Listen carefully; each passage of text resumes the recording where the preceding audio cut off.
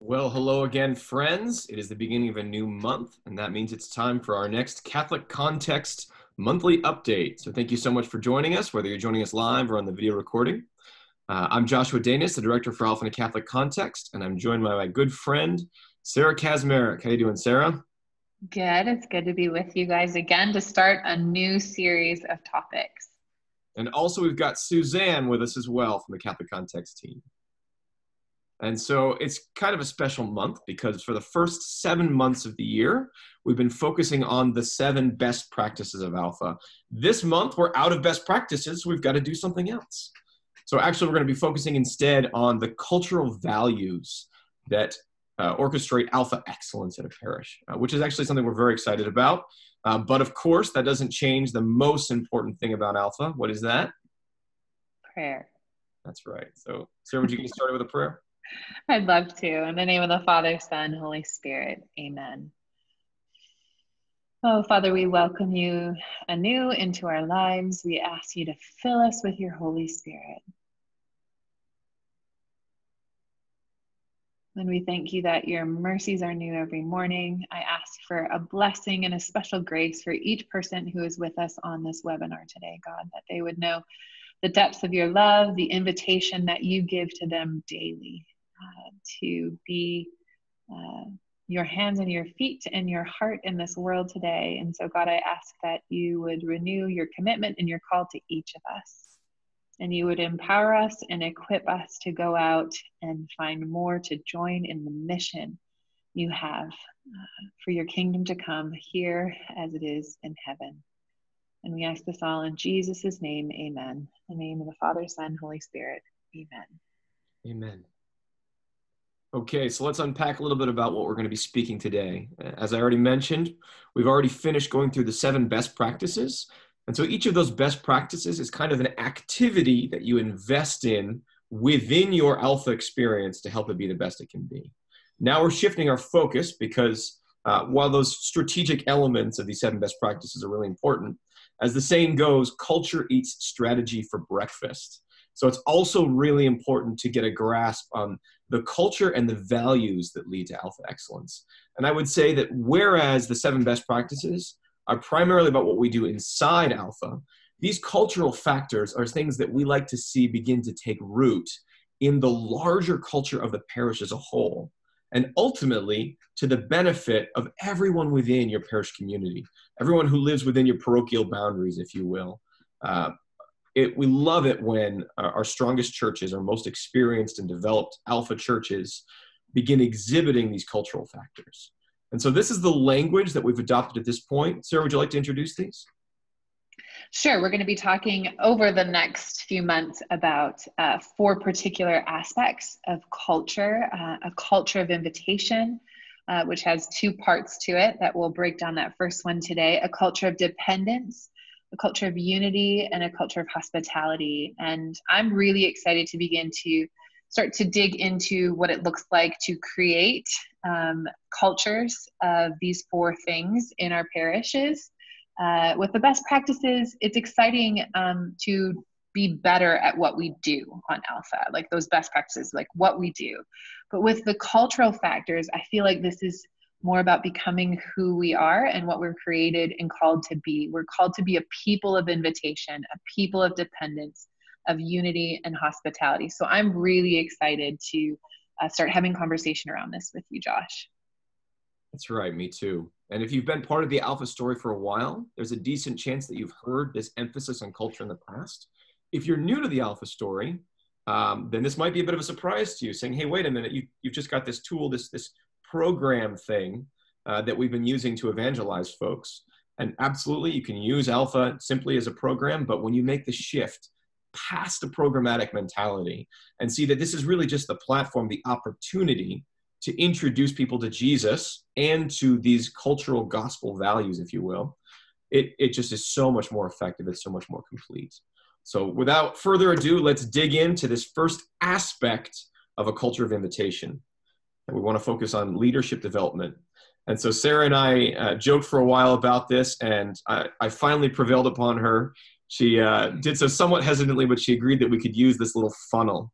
Uh, I love this little funnel to describe the experience of people making their way into your leadership pipeline and getting the leadership development they need, they need through Alpha. So picture the top end of the funnel as kind of Alpha.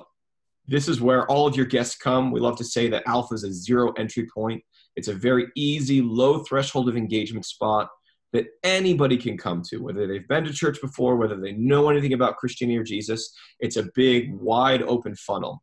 And our hope is that anybody in your larger community can feel comfortable and free coming and participating in Alpha. And then gradually the funnel gets a little bit tighter because some of those guests will want to come back as helpers. And after they've come back as helpers for a while, it gets still tighter. Some of those helpers might want to come back as hosts. Some of those hosts, as it gets tighter and tighter, might want to come back as prayer team leaders uh, or as administrators or as uh, managing the environment. And so, as each of these uh, elements of the funnel gets tighter, we're creating this kind of compressed experience of formation to enable people to become the very best uh, leaders, volunteers, uh, formers of apostolate that they can be for the larger church. Yeah, if you are like Josh and you like this funnel image, maybe we'll come up with like a branded logo funnel desktop reminder that you can order to put on your desk to remind you to help invite people into the funnel. Um, but let Josh know if you liked this funnel image, encourage him because we did have some discussion around that, but it makes total sense. And I think helps us um, begin to break open this idea of a leadership pipeline. So, if you've been in the Divine Renovation Network or you've read um, some of the materials from Divine Renovation, this idea or phrase of a leadership pipeline may not be new to you. Um, but what what we're trying to do in Alpha parishes, alongside Divine Renovation parishes, is to create this space for a leadership pipeline in our alphas and ultimately in our parishes at large. One of the things, though, we like to begin with is it does take an initial investment from the parish. This takes intentionality and strategic um, placement, invitation, and movement throughout the leadership pipeline. So, on the front end, it does require you to invest in it. But on the back end, the dividends that you will reap from it, we think far outweigh any kind of initial investment um, and planning that you might have to put into it. And generally, when we're speaking about this leadership pipeline, it's sort of like very alpha esque in that we're meeting people right where they are. We don't say that you have to have all of these qualifications or check all of these boxes before you can join um, on the leadership um, or serve in leadership on alpha. So we meet people just where they are. We want to engage them with their leadership potential, always encouraging them and calling out the gifting that we see, and then helping them grow in that role and then ultimately growing out of their role in Alpha, hopefully calling more workers into the vineyard of your larger parish. Where I don't know about you, when I worked in the church, I was in desperate need of more people to labor alongside me. Um, and so, this we believe is just a beautiful way that um, we can cooperate with the gifting that God has given someone, grow, help them grow in their service and leadership in Alpha, but then release them into serving in the larger church. That's right. So let's take a look at what this might look like in, in, the best case scenario for somebody who comes to Alpha. So imagine you're someone who's been invited to Alpha, you've been invited three or four times. You finally say, okay, I'll go to your silly church event if you just get off my back. You arrive there, you're met with warmth and hospitality, you're blown away, and you're like, this is amazing, I'll be back next week. Gradually, over the, the experience of those 11 weeks, you encounter Jesus and the power of the Holy Spirit. Your life has changed, and you say, I want more of this can I come back? And somebody says, well, we don't want you to come back on team on, as a guest, but we'd love you to have, we'd love to have you come back and be on our team. We'd love to have you be a helper. And so you come back as a helper. And as a helper, you're greeting people at the door, you're pouring water, you're smiling warmly, you're beginning to pray for the new guests on the second alpha, and you're hearing the message over again. And this time it strikes you in a different way. And you begin to get excited about the fact that you're not only experiencing this as a guest, but you're helping contribute to somebody else's life change. And so you come back as a guest for one alpha, and you come back, or you come back as a helper for one alpha, and you come back as a helper for a second alpha. And then one of the administrators of the alpha course taps you on the shoulder and say, "Hey, we're really impressed with the way your prayer life has come along. We're really impressed with the gentleness and the attentiveness that you've demonstrated in the mealtime with folks. We think you could be a host and you say, Oh, I don't know, I'm, I'm not sure if I'm ready for that. But they pray with you and they ask you to discern, and you say, Okay, I'm ready to be a host. And so you come for your fourth alpha. The first one is as a guest, and the two is as a helpers. You come as your fourth alpha as a host. And then as a host, you enter into the small group conversation time, and somebody asks you a deep theological question, and you can smile and say, in all honesty, I really don't know the answer to that question. What does anybody else think? And so you you succeed as a host in moving people further into their own journey. And you do this maybe once or twice with alpha and then you you step up and they ask you uh, to mc and so you start introducing the jokes at the beginning of alpha. You introduce the talks. You just keep on growing into this. And gradually throughout this process your prayer life continues to improve. The rest of the alpha team the alpha family is telling you about your giftings what they're seeing out of you and you feel called to go start a new ministry inside the church and so over the course of four five six alphas You've gone from being a guest who had no experience of faith, no experience of Jesus, to now you've gradually been empowered, your gifts have been built up, you're ready to go out and do something more. Yeah, I love this rhythm of like growing and going that you're talking about, Josh, and that just recognizing that we know it's not prescriptive. We can't give you the A plus B equals C for every single person that will join your pipeline, but through our dependence on the Holy Spirit uh, and our walking and accompanying people as they are in part of this uh, pipeline and being formed and grown, um, the Lord will lead and guide and help them find that perfect place to serve as they move along the pipeline. I know for me, I think of a particular woman in my parish who came to Alpha, and the first night, Jody was really angry about being there. Uh, she was not pumped about the invitation someone gave her to come to Alpha but throughout the process just gradually f- fell in love with the people at her table and fell in love with jesus in a new way. She had been away from the church for about 15 years and was had a lot of anger and a lot of wounds um, that she just really needed jesus to heal uh, on that alpha. And so she had such an incredible experience on her alpha. She wanted to come back. And so we invited her to join uh, the team and hosting and helping on alpha. And she throughout, I don't even remember how many sessions of Alpha it was, brought every single member of her family to Alpha. She accompanied them, she served them, um, she served on team. And then it got to a point where she had brought most of her family and even her son's girlfriends on Alpha. And it was time for her to take this passion and this zeal that she had out into the larger church. And she even said to me, you know what, I want to be a catechist. I want to serve uh, in the role of catechist in the church. And not only do I want to be a catechist, I want to be an eighth grade confirmation catechist. And I'll take an all boy classroom, which I was like, this is definitely a move of the Holy Spirit that someone would say that this is what I want to do. But she was so changed by her encounter with Jesus. And she was so passionate that everyone else would have that same encounter, that she wanted to serve the larger church in that particular way so that she could help walk with these young men into their own encounter and relationship, um, hopefully with Jesus, as they were being prepared for the sacrament. So I just love her story as a way of um, just kind of highlighting or illustrating the way that she was moved through pipeline. And it wasn't necessarily like we checked boxes and we had charts. Um, and I was like, you have now reached this level. You may now move on to the next level. But we were both listening to the Holy Spirit and we were both walking and growing together um, to keep moving us through that pipeline. Okay. So now we'd like to spend a couple minutes just talking about how do we grow these volunteers that we're inviting into the pipeline? Yeah, so the, yeah, absolutely. So, one of the things we hear a lot is how do I get volunteers? How do I get new volunteers? I need more people because that's sort of the situation we often find ourselves in the church. So, we just wanted to highlight maybe if you're new to Alpha or if you're like, I need to reset this, I need to reset, I need to start over, I need to be intentional about creating a pipeline, but I do need some new volunteers. So, how do I find them? Um, the first thing we would say, as we say with Alpha, um, is to pray, but really pray intentionally uh, that the Lord would highlight or sort of bring to um, your consciousness people that He's calling into this mission of serving on Alpha. So pray intentionally and ask the Lord, Lord, I'm open.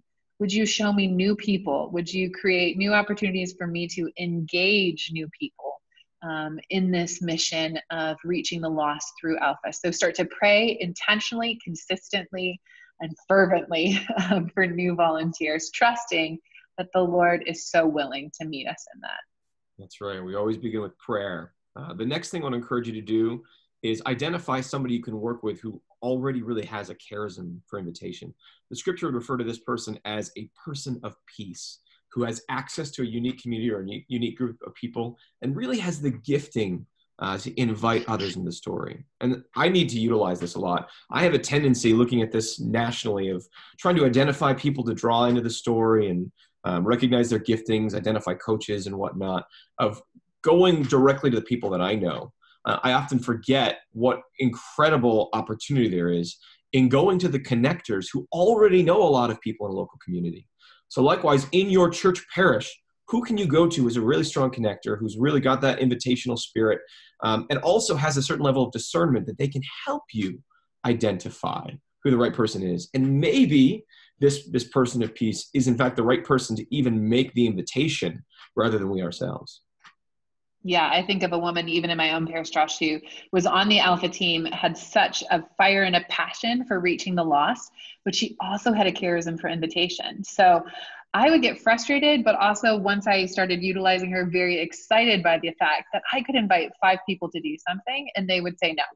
And she could invite those same five people and they would say yes to her. And i'm not sure why but she just had this particular gifting and anointing that people always said yes to her. So i knew if i wanted to invite someone into the alpha story to join team to be a volunteer i would ask her to ask them to do it and they always said yes. So such a helpful thing. Um, and and just being mindful of the fact that we want to cast vision for what we're doing. It's not just a job description. It's always helpful for people who are volunteering to know what we're expecting and what we're asking them to commit to.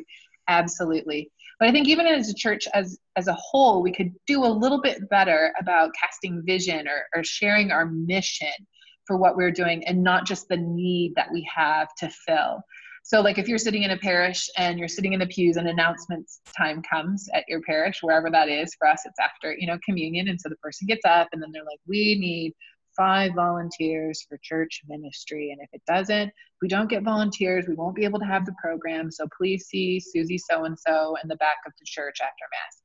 I'm not really going to feel like hightailing it back there to join something that it seems like nobody wants to sign up for um, and just to fill a need, right? But if someone got up and said, if you have a passion for children and help helping them meet Jesus and know his love, we want to talk to you because we have an exciting opportunity. It's a very different way, right, of casting vision for what we're inviting people into on team. So cast some vision, encourage, inspire, and not just give a job description. Amen. Amen. And the last way we want to focus on getting volunteers is utilizing this pipeline. Now, obviously, if you're brand new, you got to be very intentional about building up this pipeline. But once you've been running Alpha two, three, four times, ideally, you've got all of these people who've been through your Alpha. And it's a great thing to invest in them to move them forward in this pipeline. In fact, it should be our goal that once we've established a rhythm of Alpha in our church, the majority, if not all, of our Alpha volunteers should be recent alpha guests. They're formed in this culture, they're formed in this experience, and they're ready to go on serving in a new capacity. Okay, so now this is my favorite part of every month when we get to our do's and don'ts. And Sarah and I, Sarah and I discussed this, and I think it's my turn to have the uh, the burden of sharing with you the negative side of this, the don'ts. The first don't we want to share with you when it comes to volunteers to this leadership pipeline, this leadership formation is don't operate out of a warm body mentality. This is the idea that we start with, with roles and functions that have to be fulfilled. And, oh, let's just find somebody who can fill that spot. And maybe they have the giftings, maybe they don't, but we just got to find somebody who can fill that spot because it's got to be filled. Instead, we really need to make sure that we're focusing past um, what the role is and instead on who are the people with the giftings that, that are needed. Yeah. And so the do with this, and I mean, and what Josh is sharing, like we've all been guilty of. If you've worked in parish life, we've all come down to the eleventh hour. So don't hear that as condemnation. That's this is just encouragement uh, in a way that we can grow in this together. Um, so we do want to trust God to bring the right people for you to engage. We all know that that list, litmus test of a host or a helper at any one of our tables is: Would we feel comfortable or confident for them to sit with our most unchurched friend or family member that we are desperate for them to know the love of Jesus of, right? We know that we have that, but that means how are we going to find them? And we want to trust that as we're praying, God will bring them, but that we do have a responsibility to for us to engage uh, them, to to step out, to take a leap of faith, to invite the person that maybe you don't know uh, as well in the parish, but you feel like the Holy Spirit's giving you a nudge that they have a particular uh, gift for hospitality or welcome or loving and listening to people. Um, and so trusting Him, but us doing our part in meeting God when He brings them, that we would try to step out in faith and engage them um, in that invitation to serve. Hmm. Our second don't is don't see don't see people simply as fulfilling a job or a function. It's a really important part of this invitational nature of Alpha that everything that we're doing in Alpha uh, is uh, in full respect to our dignity and for our own formation as well as the formation of our guests. And so uh, it's really important that we see them as, as really part of the members of a family and that God is doing something special in them by means of the service that they are providing.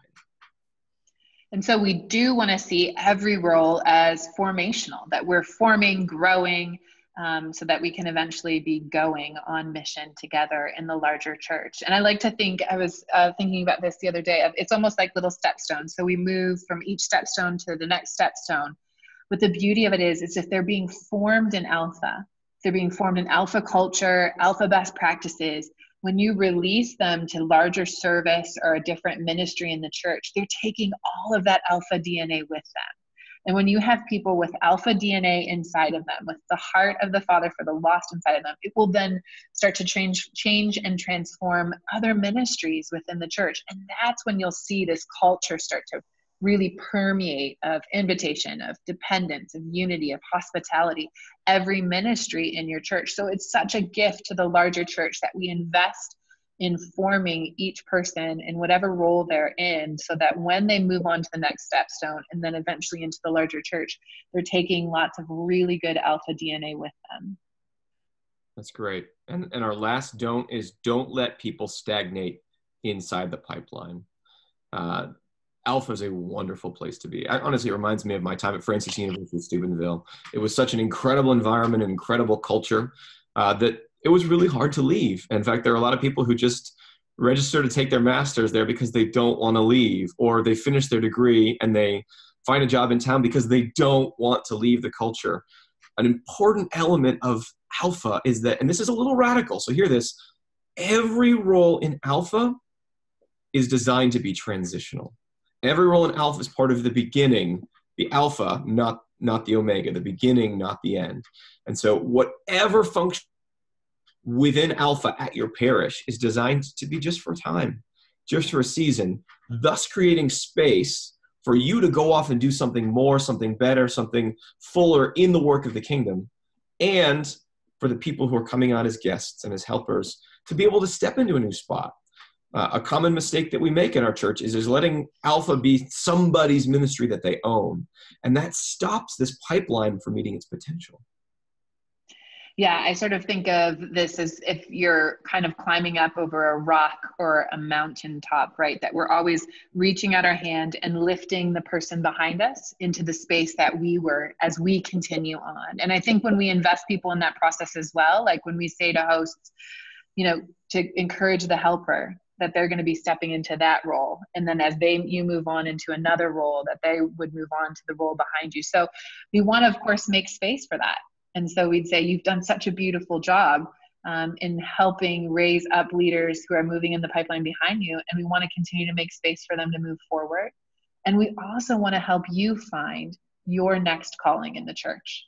Um, sometimes that can be hard. It can feel like this warm little cocoon where you find your people in Alpha, but we do need a little of that boldness and that trust that God is going to help us take everything we've learned in Alpha and bring that to the next thing that he's calling us to. So we want to encourage people that we're going to help them with their transition at Alpha by calling out the gifting we see in them, calling out the prophetic identity God has given them as evangelists or teachers or whatever it is that God has uniquely created them to do, um, that they can take Alpha with them. Uh, and they have, of course, our relationship and our blessing as they go, but we need to help people do this well in the church. And I think what Josh is saying is so true that sometimes we haven't done it that great in the past. But I think if we're creating this healthy culture and life cycle um, as they move through alpha in the pipeline, um, it will become easier and it'll just become the way things do, the way things are done um, in alpha and in our parishes when, when this pipeline takes hold uh, in our culture. Okay, so this has been just a very brief examination of this aspect of an invitational culture, leadership development as something that we are inviting people into greater and greater leadership. Really encourage you to share this uh, video with your, your friends and coworkers, the folks you're working on Alpha with. Have conversations about how can you maximize this and what can we actually, what can you share with the larger church um, on how you yourselves at your parish, your unique situation, are diving into leadership formation as part of an invitational culture. We also just have a couple of exciting announcements to share with you. The first one is that we've officially uh, posted our speaker list for the upcoming Alpha Conference in Phoenix, Arizona at the end of January. Uh, so, uh, very excited to have Father James Mallon as one of our speakers for this year's uh, for this year's conference. He, of course, is the author of the book Divine Renovation from Maintenance to Mission, He's also recently released a book with Ron Huntley on unlocking your parish through Alpha. So it's going to be wonderful having him. Also, if you've never heard of Francis Chan, a Protestant pastor based out of the, the Northwest, highly encourage you to take a look at him. He's going to be one of our speakers as well. He's an author and renowned speaker, uh, speaks really ab- about the power of an intentional church community and small Christian community. Wonderful speaker. I'm so excited to get to hear him. And I think aren't Nicky and Sila Lee going to be joining us as well, the creators of the marriage course? And I know some of you have been asking about, and we're hopefully going to have some teasers from the relaunch for you to see as part of the Alpha Conference in Phoenix. So you definitely want to join us. I know uh, people are starting to sign up really quickly, and we'd hate for you to miss out. So be sure to check out the link that will be in the follow up email to uh, this particular webinar and register you. And maybe that's a way that God's inviting you to. Uh, or encouraging you to invite some more people on your team. Maybe you'll bring some people with you. They'll catch the vision and the mission, and they'll be on fire to help you run alphas when you go back to your home parishes.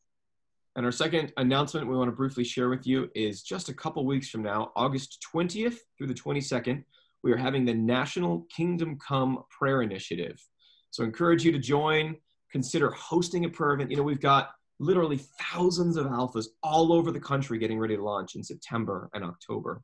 And we know that alpha is designed to fail unless God shows up. We know that prayer is the most important thing that we do. So I really want to encourage you to join us, be part of this initiative, and invite others to pray with us for the success of the work of evangelization as we strive to make disciples of all nations. And again, you'll see a link to our website uh, on the follow up email to this so you can find out ways that you can get involved with the Kingdom Come Prayer Initiative. All right, and speaking of prayer, why don't we go ahead and close our time together again? Thank you so much for, we know how busy all of you are. Thank you for taking this half hour to be with us as we start the month together. Let's go ahead and close our time together in the name of the Father, and the Son, and the Holy Spirit. Amen. Come, Holy Spirit. Come, Holy Spirit. Come, Holy Spirit. Dear Heavenly Father, we thank you again for this time. We pray that uh, your Spirit might continue to accompany us throughout this day and this week. That we might be inspired to make the most of the concepts that we've explored here. Uh, pray that we might be able to identify the right team members in the right roles to be as effective as possible as we launch Alphas this fall. We pray for the upcoming conference. We pray for the prayer initiative. Uh, we pray that you might send grace on each church that is exploring for the salvation of souls and the glory of your kingdom. In Jesus' name, amen. Bye, Thank guys. You your time. God bless you.